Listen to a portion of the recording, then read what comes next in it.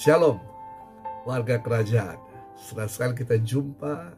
Saya percaya Anda terpelihara karena Yesus Kristus, Sang Raja yang kita sembah. Nah, di pasal 19 ini dari kitab Yohanes dari seri pelajaran perenungan uh, kitab Yohanes ini kita akan belajar bersama-sama dari ruang kerja saya dan Yohanes 19 ini bertemakan penolakan yang berbuah manis. Mari kita baca Yohanes 19 ayat yang ke-15. Yohanes 19 ayat yang ke-15. Maka berteriaklah mereka, enyahkan dia, enyahkan dia, salibkan dia. Kata Pilatus kepada mereka, haruskah aku menyalibkan rajamu? Jawab imam-imam kepala, kami tidak mempunyai raja selain daripada kaisar. Warga kerajaan, pernahkah dirimu mengalami penolakan? Pasti sungguh menyakitkan ketika kau ditolak, tidak dianggap, tidak dihargai. Ya, saya sering juga mengalami penolakan. Ya, saya tidak tahu apa alasannya, tapi kafilah terus berlalu walaupun anjing menggonggong. Nah, penolakan akan selalu ada di sepanjang kehidupan manusia. Anak yang mengalami penolakan dalam keluarga, penolakan bawahan terhadap pimpinan, banyak. Cinta yang tertolak, wah banyak. Penolakan akan kebenaran, dan lain sebagainya. Namun bagaimana jika seorang raja yang mengalami penolakan dari rakyatnya? Ya, Yesus adalah raja orang Yahudi. Dialah sang Mesias, Kristus yang hidup.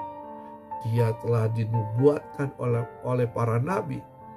Dialah yang disembah oleh para gembala dan orang majus tetapi kemudian ditolak oleh mereka dan bahkan Pilatus pun didesak untuk menyalibkannya. Seharusnya dengan segala kuasa dan otoritas yang ia miliki, ia bisa memerintahkan api turun dari sorga membakar mereka yang menolak dia. Ia bisa memerintahkan angin badai untuk mengikat untuk melemparkan orang-orang tersebut. Tapi ia menerima penolakan itu.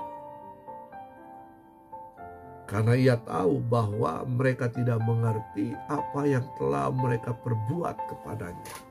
Dan juga Yesus tahu bahwa lewat penolakan itu, maka kemuliaan Tuhan akan dinyatakan ya penolakan itu akan mendatangkan kemuliaan baginya dan keselamatan bagi umat manusia.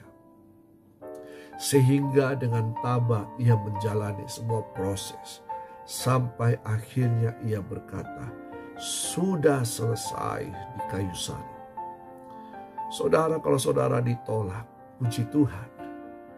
Berarti saudara ada dalam pelayanan. Kalau saudara ditolak, berarti saudara ada di jalur Tuhan. Warga kerajaan, jika dengan segala kapasitas, kemampuan, talenta, bahkan karunia yang kita miliki, namun kita ditolak di posisi yang seharusnya, dapatkah kita menerimanya? Ketika saya meninggalkan suatu pelayanan untuk bergabung dengan pelayanan yang lain. Saya tidak langsung memulainya di atas, tapi saya mulai dari bawah.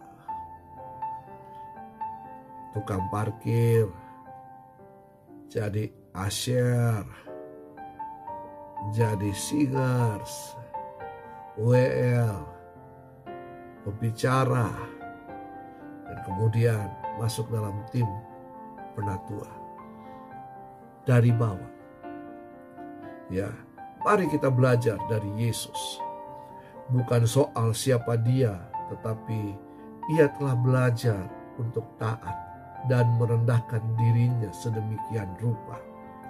Kerendahan hati dan pengampunan terhadap sikap penolakan orang lain sampai akhirnya kita pun bisa berkata, "Ya Bapa, ampunilah sebab mereka tidak tahu apa yang mereka berbuat." Itulah yang akan membawa kita naik tinggi dalam kemuliaan Allah. Haleluya. Kita akan bertemu lagi di Yohanes pasal yang ke-20. Teruslah belajar mengalami kebenaran Tuhan dalam kehidupan. Tuhan Yesus memberkati.